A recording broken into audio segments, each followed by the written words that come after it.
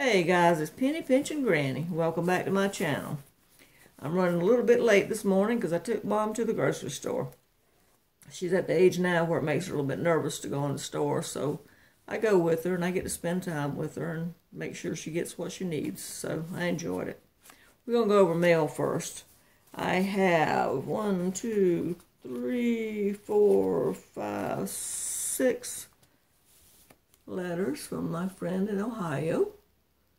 Uh, thank you. I think she writes me about mm, maybe twice a week. I thank you so much. And this is from a lady in Mississippi, no, Missouri, I think. Wait a minute, make sure. Yes, Missouri. She's in a card. But she also makes these jar openers. Look at the craftsmanship. Beautiful. Thank you. I do have trouble opening jars, and these definitely will help. Thank you, thank you. And this is from Canada. This one is from Pennsylvania. And this one is from Michigan. And this is from North Dakota. And um, tell you a story before I show you the next one. I went to the book lady with my daughter last Saturday, and then mom and I went to thrift stores Thursday because I was looking for a keto book. And depending on where you go shopping, it's going to cost me 10 cents to mm, 50 cents or a dollar. But anyway, another places had them. I think because it's so popular now, people are keeping the books. Now, it's like the Atkins. When it starts to die down, you'll find books everywhere. But lo and behold, the Lord is good. He's always good. When I got home Thursday, what did I find in my mail? Ketogenic cookbook. And this came from a lady in Virginia. Thank you. It's got a lot of good recipes in it, and it's also got, let me find it, some ideas for menus.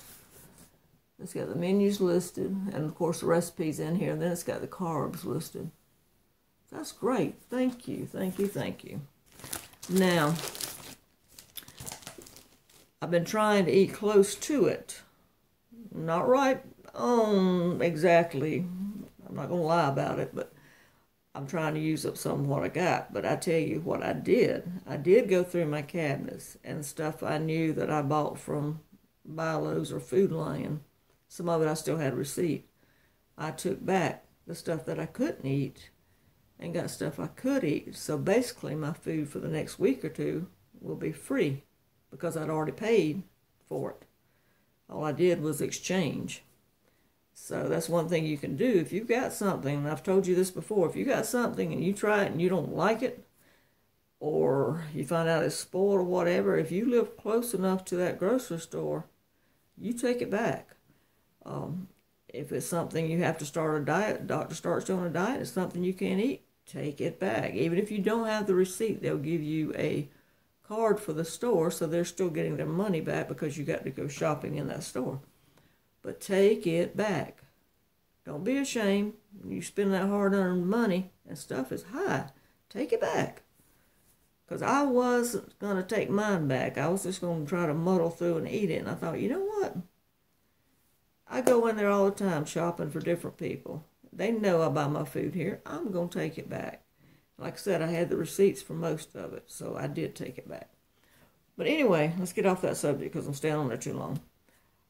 My food for the next week or two, as I said, will be free. So I won't break it down because it was already paid for back a month ago, whatever. So I'm not going to break it down. But I am trying to stick close to the keto diet. And I know I won't get everything just right. But I'm learning. So just stick with me. Now, over the past month, since I have been cutting back some, I have lost 13 pounds. I went from 184 to, I weighed, I think it was Thursday morning, I weighed, I weighed 171. But I'm going to tell you, if you are on a diet, I used to teach weight loss at the YMCA. Do not get addicted to weighing yourself on those scales.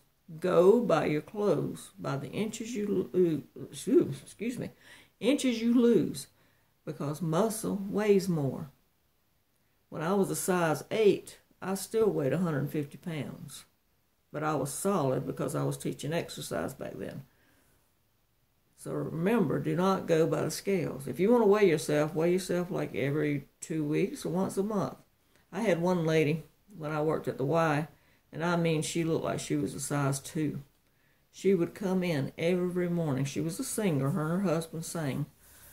And she would come in every morning. She was so self conscious and weigh herself. And if she had gained a half a pound, a couple of ounces, she wouldn't eat for the whole day and that's dangerous. Do not do that. You eat. Don't get addicted to weighing yourself. Go by your clothes. I can tell my clothes are getting a little bit looser, especially my pants. But I'm hoping by being on this keto diet, it's going to raise my iron too because I'll be eating more meat. And um, I'm hoping that's going to help since my iron is so low. But anyway, and another thing is, do not send me comments about you need to buy grass fed, grass finished, pasture raised, organic, this, that, and the other meats. I know I do. I can't afford it. So I'm going to get what I can afford. Now, vegetables, the prices of organic vegetables and stuff are coming down, so I can afford to get them if my store carries them. But as far as the meat, I am not paying $15 for a couple of pieces of chicken or $15 for one steak or whatever. I'll get it if I can get it. But most of the time around here, you're not going to find it. And I can't afford to drive to different towns hunting sales on meat. Uh, another thing, let's see, what else was it? Oh, yeah. I notice a lot of people are ordering groceries online now. And my question to you guys is that's a great thing, especially for elderly people. But the problem is, do they take EBT? And for you that don't know what EBT is, the United States version of food stamps, food assistance. Now, if they don't take EBT, a lot of the elderly and others can't order through them. And that would be a great service for us to be able to order. So, do you know of any food companies that will allow you to order your groceries and have them delivered that take EBT? Because I tell you what, companies, if you're listening to this, you're missing on a missing out on a big market because just like taking my mama to the store, if she could have ordered her groceries and had them brought to her, it would have been good for her. I mean, I did get to spend time with her, and I don't mind.